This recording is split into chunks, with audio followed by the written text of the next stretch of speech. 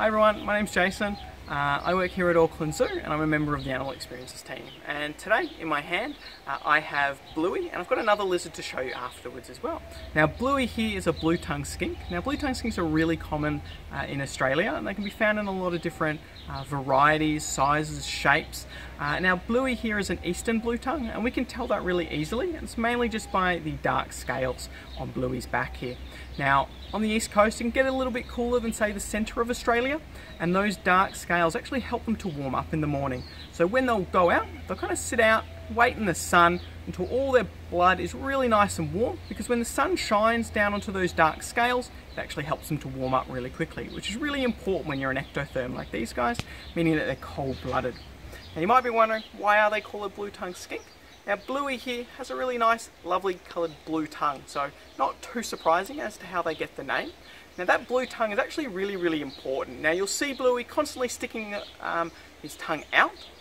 Now what he's doing with that is actually just smelling or sniffing the air, uh, but it's that lovely bright blue colour uh, that's really, really interesting. So if these guys are ever in trouble, if there's ever an animal that wants to eat them, what they'll often do is open their mouth up, stick their tongue out and hiss at their predators. Uh, and in nature, bright colours can actually mean danger. They mean stay away. They might mean that they're venomous or poisonous. Uh, so a lot of animals will actually leave these guys alone when they see that really bright blue tongue. Uh, now that actually doesn't work uh, to keep them safe against all animals though. Uh, so sometimes they actually have to run from their predators. Now, if you have a look, uh, Bluey here has quite small legs, quite a big body, uh, so running isn't always the best option because they're pretty slow. But what they do to keep themselves safe if they do need to run away is sometimes they'll actually make their tail fall off. So these guys can drop their tails just like your common garden skinks can here in New Zealand. Um, and they'll leave their tail behind and the predator will hopefully just focus and eat that tail uh, while the animal runs away.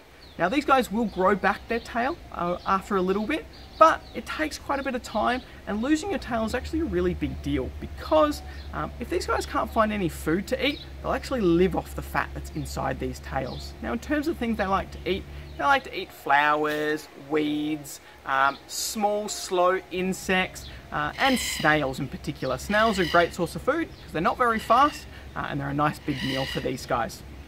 Now what I'm going to do is I'm going to pop Bluey away and I'm going to bring out another animal. Um, so we'll be just a sec. So right here in my hands I have Cyril. Now, Cyril here is a bearded dragon.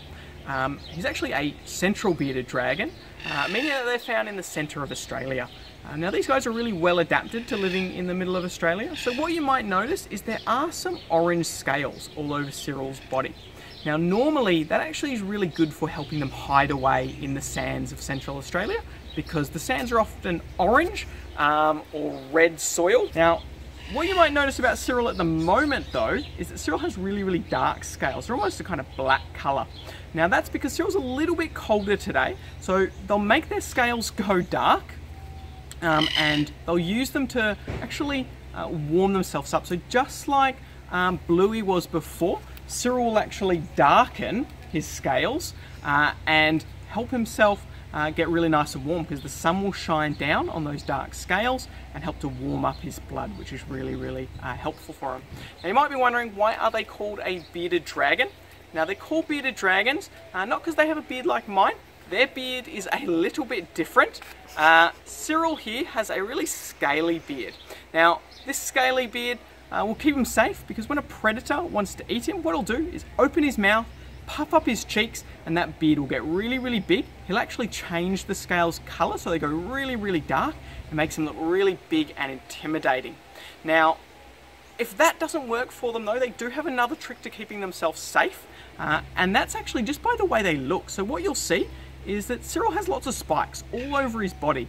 Now an animal will look at that and they think, well, that's not going to be very fun to eat, is it?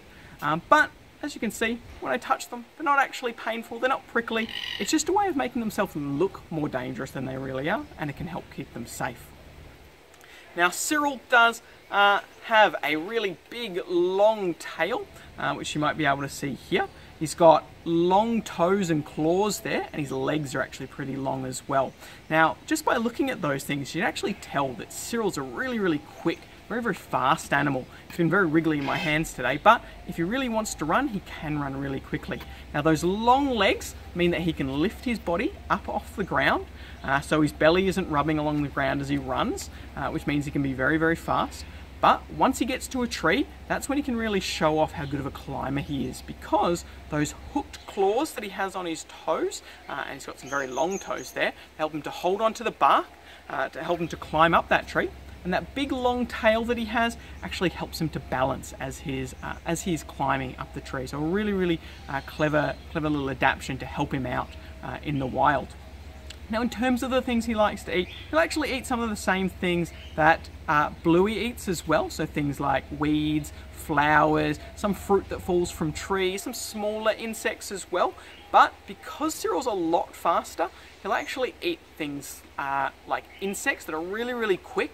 He'll actually also eat some um, small reptiles as well. So little skinks he might eat. Uh, so these guys have a bit more of a varied diet to a blue tongue skink um, and they'll eat things that are a lot faster because they can chase them down and eat them. Uh, now I'd like to say thank you very much, hope you'd enjoy, um, and I'll see you all around. Thanks guys.